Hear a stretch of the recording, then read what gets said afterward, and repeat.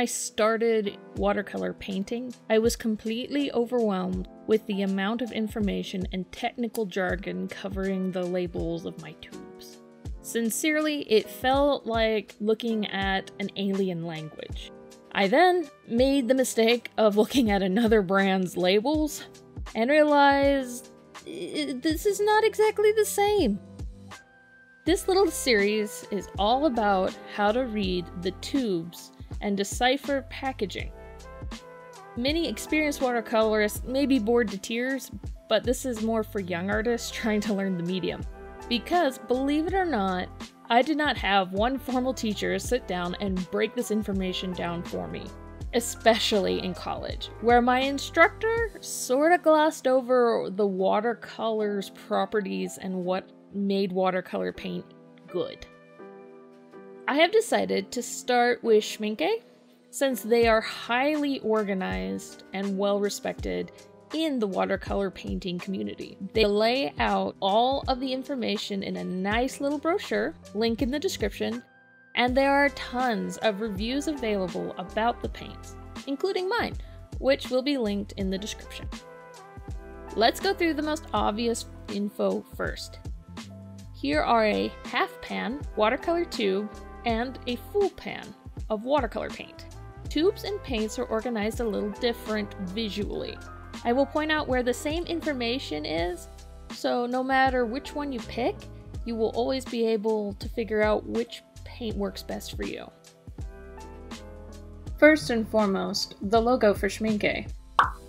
Here is the product name, Horadam Aquarell. Then here is the color name in multiple languages.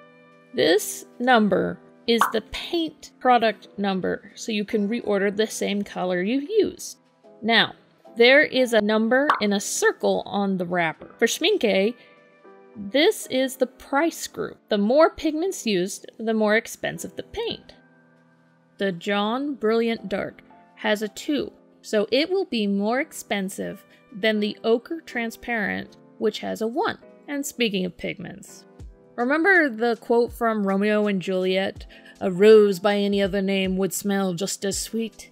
Well, that is the truth when it comes to paint names. What one company may call rose red might be magenta red in another. Names are subjective across the board, and as such, artists need to go by the pigments that are used. The color index names are the abbreviations that explain which pigment is used. Following this code comes a number that specifies the exact chemical compound present in that paint. Just so you know, there are way too many combinations for me to list them all. Look at the half pan wrapper drawn Brilliant Dark. According to the wrapper, it has pigments of white, yellow, and brown. The ochre transparent has only one pigment of yellow. This information is important when mixing your own colors or distinguishing colors under different names. For the next part, we need to start with the symbol key. Remember the little box that was on maps and they had little drawings for everything like mountains or railroads? Each brand of watercolor paint has a similar setup for their information. Let's be honest, some of the words are really long and it's much easier to communicate with a short little symbol. Schmincke uses a square to distinguish between their colors' transparencies. There is also a little number at the end, and that tells how many of a particular transparency they have in a particular group.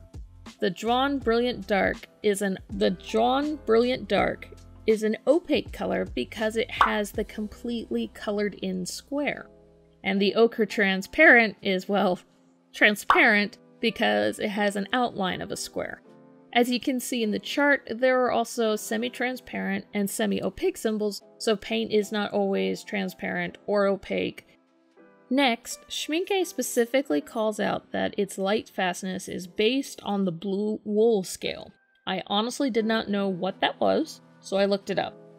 A website called Hibiscus PLC says the blue wool scale measures the performance of coloring dyes in light, Traditionally, this test was developed for the textile industry, but it was later adopted in the printing industry as a measure of light fastness for ink colorants. Light fastness tests using the blue wool scale as a reference are carried out using a xenon arc lamp as a light source. Light from the xenon lamp has the nearest artificial wavelength distribution to that of the sun.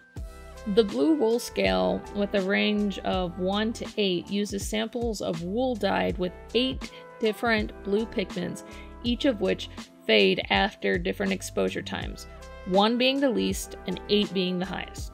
Schmincke uses stars to show how light fast an item is.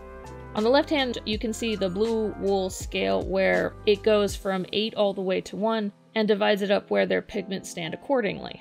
In the middle column of the chart, it shows the stars from 5 all the way to 1, and there is also a dash line for non-light fast colors. It is very important to check the packaging to see what your brand is using for their key because it's not always the same.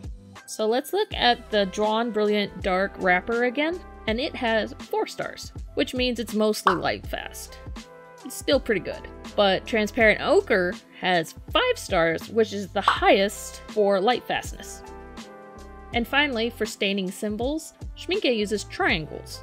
Drawn Brilliant Dark has half a triangle colored in, which means semi-staining. Ochre Transparent, on the other hand, has a completely dark triangle, which means staining. Hopefully this has been helpful.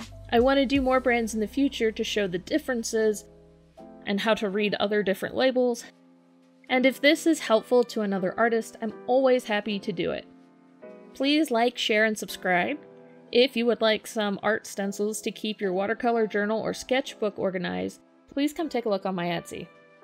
Thank you again for your support. Till next time.